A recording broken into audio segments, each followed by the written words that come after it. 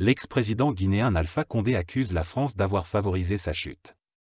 Le président Alpha Condé reproche aux autorités hexagonales d'avoir favorisé son renversement et à l'ambassadeur de France à Conakry, Marc Fonbostier, d'être favorable aux autorités de la transition. Selon Jeune Afrique, l'ex-président a eu un contact avec l'ancien ministre français des Affaires étrangères, Jean-Yves Le Drian par l'intermédiaire d'un ami commun. Dans le même temps le magazine affirme que l'ex-président échange toujours avec des amis tels que Bernard Kouchner, ex-ministre français de la Santé, puis des Affaires étrangères, ou le général français Bruno Clément Bollet.